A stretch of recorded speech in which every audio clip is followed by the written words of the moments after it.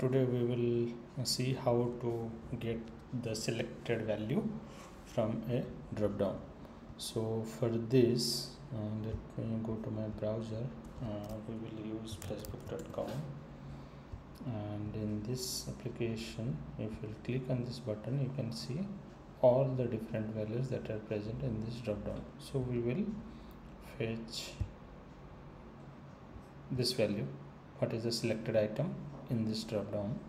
So you can see this since this is selected select tag so you can say this is a drop down and in the drop down uh, you can see the selected for this may there is an another uh, additional thing which is selected equal to 1 but this selected equal to 1 is not present for all other options. This is only present for uh, for for that value which is selected in the drop down. We will see how to get this video. Okay. Let me move to my visual studio. And uh, I will copy. Create another method. I will say get drop down value. Get selected. Get selected value and drop down from that one. Okay uh, likewise I will go to this website and paste it here. And the locator will be different. First I will click on that button first this button. So I will inspect this element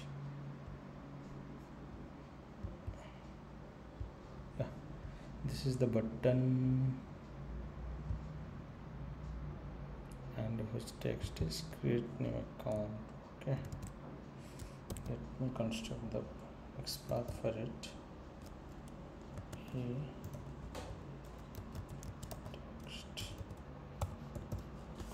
To yeah this is the button. I will use this. I will first click on this button first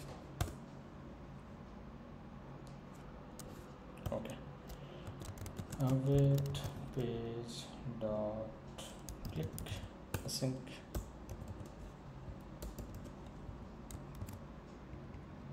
okay. Here I will click on that button then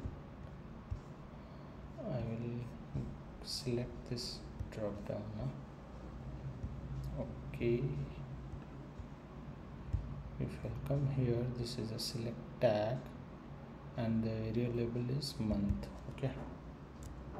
I will use this attribute. Let me construct the XPath for it. Equal to month. It will select me this month drop down okay? Okay now what I'll do Uh, await let me store it in a variable a different way we'll do it. Okay let me var month drop down equal to await page dot locator we can use this drop down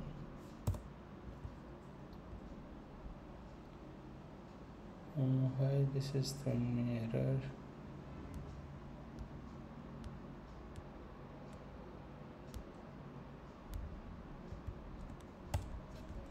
this is not async method actually so that's why it was throwing the error mm, now we will for the async method we have to use await else there is no need to use the await. Okay.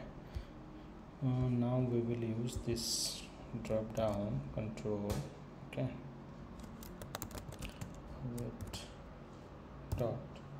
There are different method actually to get uh, value. Let me first show you what are the different uh, methods available. I will see inner text async. I will store it in where first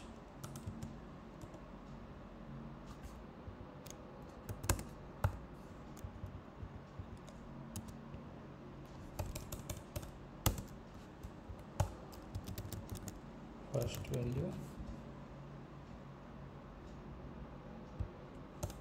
okay. Uh, I will use another method. Let's see if what are these methods are returning then I will see what is the actual method we will use for the drop down okay. Await month drop down dot inner text we used then inner html async then third value await month drop down dot uh, you can see this one also inner text async oh, I used it okay. Input value async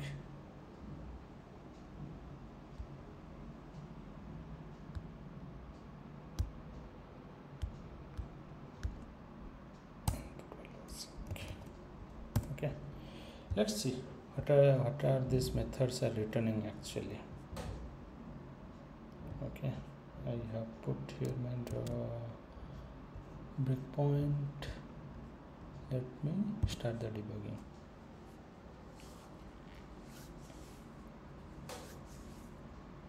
Yeah. If you'll see yeah it has opened the pop-up. Then it will read this drop down value what I am trying to get. Okay let's see. I'll F10 F10 F10 okay. In the first value you will see it is showing all the options text actually. January February March April May to December. Okay. So if I will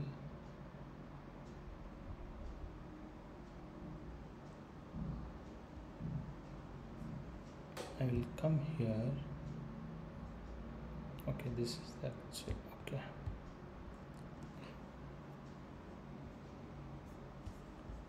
Let me show you first. It will be easy for you to get actually. Facebook create new account. If I inspect it you will see these are the text value actually January February March to December. So this method this method inner text async okay? So this is returning all the text all the text that are present inside that particular dropdown okay? This is not returning the selected one okay? Let's now move to another method inner html async let's see what it is returning yeah.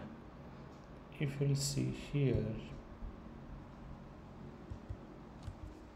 uh, january option value 1 option value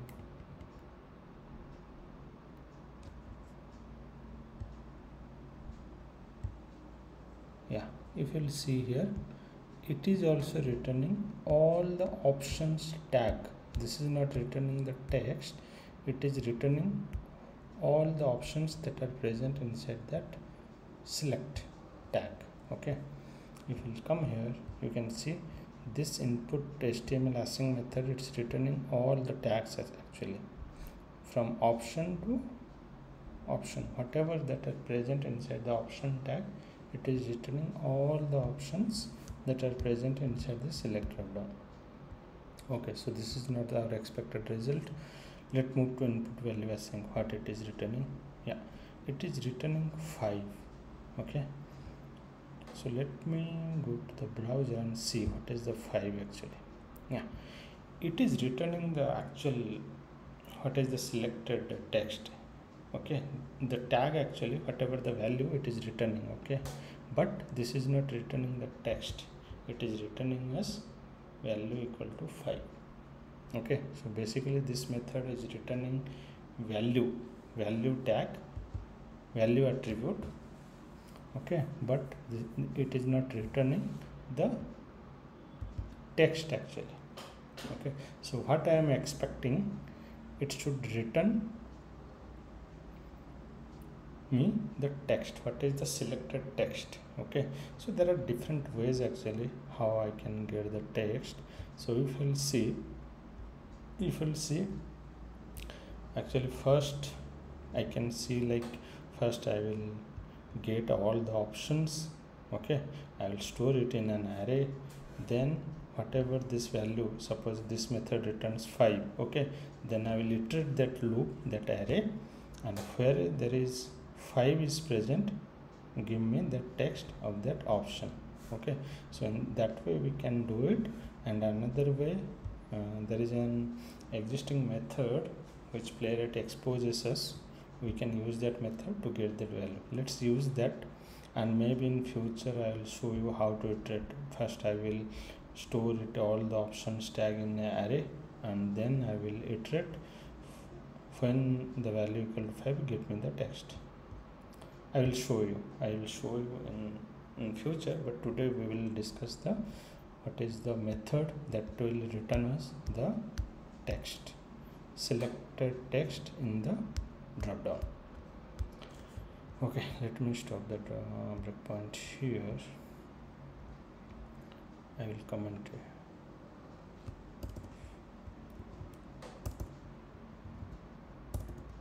okay so I will suppose value equal to await my month drop down dot evaluate async. Evaluate on selector. There is a method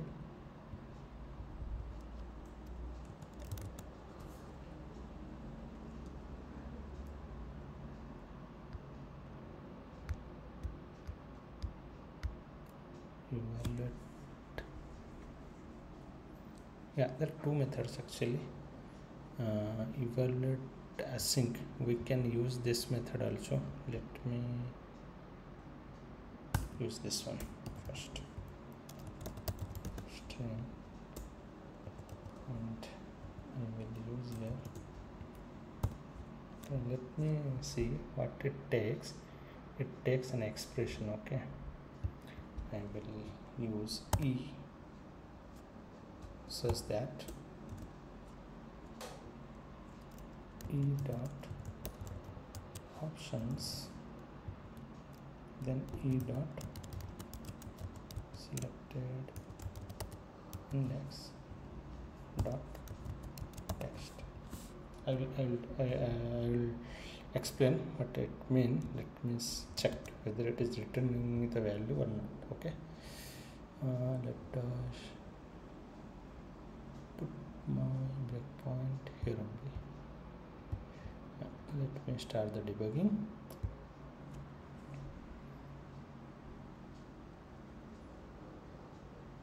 Yeah.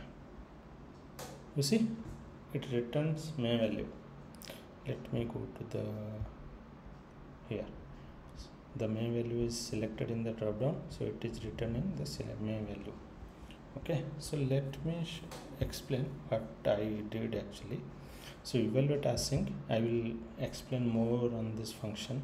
There are different functions on this evaluate uh, method. We will we will see in future uh, going forward we will discuss it in more detail. But uh, this evaluate async basically this is a method which executes the javascript. Okay if you have some um, JS code you want to execute. So you can um, paste the JavaScript here JavaScript command and you uh, execute this line. So what it will do it will execute the uh, JS command using evaluate async method. Okay. So let me discuss what I did here. So basically what E means okay I am telling to the playwright okay whatever my control is my locator is so this is my locator okay? So e is nothing but is my locator. From this locator like from this drop down okay i will go to the all the options okay? And i will select that index okay? So basically this is nothing but an array options all the options. And I am using those index for which selected is present. Okay so suppose this index is 1 2 3 4 5 so what it will do e dot options in square bracket 5 dot text. Using the text uh, property i can i am reading the value. Okay so i will use the same thing but in different way. Let me show you. Var value 1 equal to await uh, I will use the directly page dot evaluate.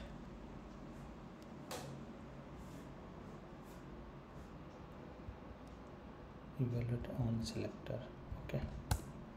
And I'm expecting to return me string and it will take actually two arguments okay? First one is the uh, locator.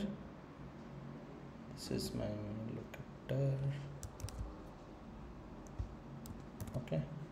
And the second one is my javascript. Okay? So here if i'll see here so this e is nothing but this only. This select tag okay and whatever I am doing here using the select index property. So let me check whether it is working or not. Let's start the debugging. So both the methods should return me may value.